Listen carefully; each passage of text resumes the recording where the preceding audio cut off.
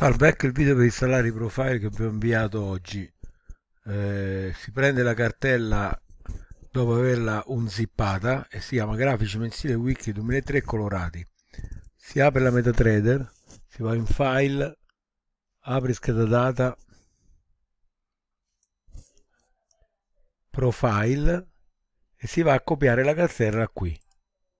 Quindi la cartella va copiata, la cartella totale si fa copia e si, si mette in questa cartella.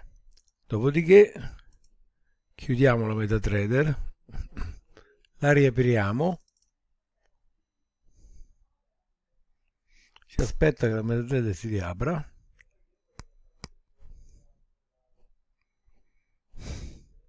Ecco.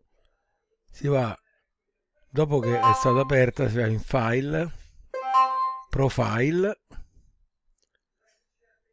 Ecco qua e si clicca qui grafici mensili weekly 2003 colorati. Si clicca qua e si aprono tutti i grafici